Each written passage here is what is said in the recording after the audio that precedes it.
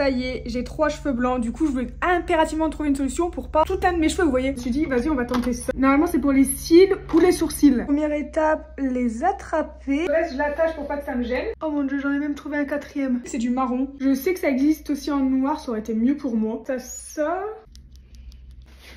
J'ai oublié d'aller chercher ça. Le plus dur maintenant, c'est de les prendre un par un. Bon, ça va sûrement aller sur mes autres cheveux, mais tant pis. De toute façon, je dois les laver. La merde, mon idée. Oh là là, c'est la galère. Ça commence à brunir la teinture.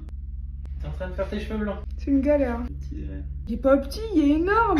La teinture, elle est devenue comme ça, bien foncée. Et mes doigts, c'est horrible. J'aurais dû mettre des gants. Là, ça doit faire 10 minutes, donc on va essayer d'enlever tout ça. J'ai l'impression en tout cas que ça a bien pris, comme sur mes mains. Oh, je vais l'enlever au mouchoir. Nickel. Il n'y a plus qu'à passer à la douche, mais sinon c'est plutôt pas mal. C'était trop complexant pour moi, en plus à chaque fois tout le monde me le dit en commentaire. Je pense que je suis bon au moins pendant un mois.